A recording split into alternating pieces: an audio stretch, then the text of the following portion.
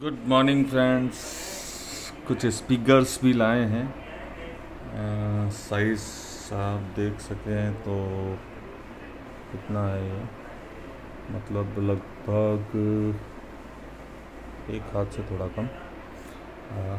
Model number मैं आपको बता देता हूँ। Yamaha N X E four four zero six ohm में है। नॉमिनल इनपुट 40 वाट है मैक्सिमम इनपुट 80 वाट्स ये दो स्पीकर हैं only for four thousand rupees ठीक है, अपन आते हैं जामो के स्पीकर्स पे। जामो के दो सेंटर स्पीकर हैं मेरे पास। जामो के सेंटर स्पीकर तो आप जानते हैं, दोनों सेंटर हैं। ये आपको फाइव थाउज़ेंड रुपीज़ में पड़ेंगे, जैमो सेंटर स्पीकर दोनों। चलिए कंडीशन आप देख सकते हैं, बिल्कुल शानदार कंडीशन है, ऐसा कुछ नहीं ओके सर तो यामा हो गया, जैमा हो गया Onkyo 5.1 speaker setup condition आप देख सकते हैं, बिल्कुल ब्रांड न्यू कंडीशन में है। शानदार, एकदम स्क्रैचलेस कंडीशन बिल्कुल शानदार कंडीशन ये पूरा फाइव स्पीकर्स हैं, और ये फाइव स्पीकर आपको मिलेंगे seven thousand rupees only for seven thousand rupees इसी में मेरे पास सिल्वर एडिशन है। ये थोड़े अलग स्पीकर हैं, ये भी मैं आपको दिखा देता हूँ। सेम प्राइस है, दोनों मॉडल अलग अलग हैं। इसमें चारों स्पीकर बड़े रहते हैं। चार स्पीकर्स हैं इसके।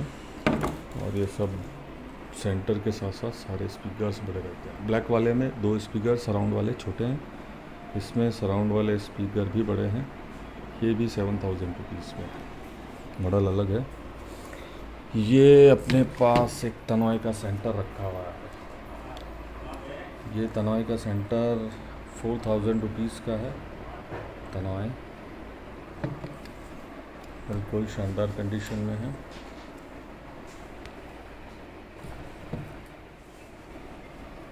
ठीक है। अब JBL के दो सेंटर स्पीकर ये भी आपको फोर थाउज़ेंड रुपीज़ में दोनों सेंटर मिल जाएँगे। तनॉय के सेंटर भी फोर थाउज़ेंड में सिंगल पीस है और JBL के दो सेंटर फोर थाउज़ेंड रुपीज़ में डबल पीस है। जामो के डबल सेंटर जो बताए थे, वो फाइव थाउज़ेंड में डबल पीस है।